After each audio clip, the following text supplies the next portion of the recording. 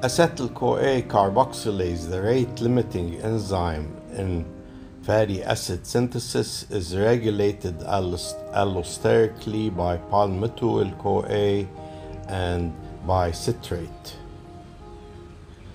Palmitoyl CoA will promote the depolymerization, meaning changing the polymer to the monomer which is inactive.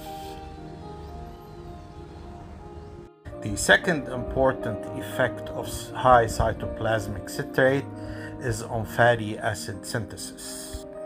High cytoplasmic citrate can promote the polymerization of the rate limiting enzyme in fatty acid synthesis, acetyl CoA carboxylase.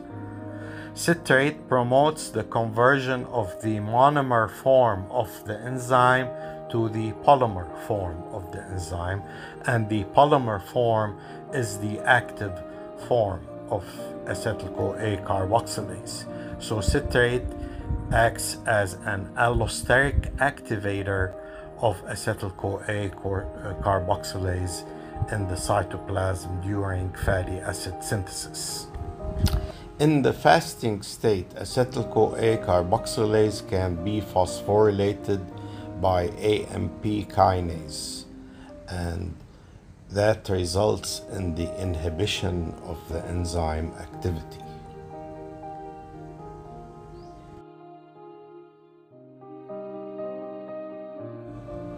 In the well fed state, insulin promotes the activation of a protein phosphatase that dephosphorylates acetyl CoA carboxylase, resulting in its activation.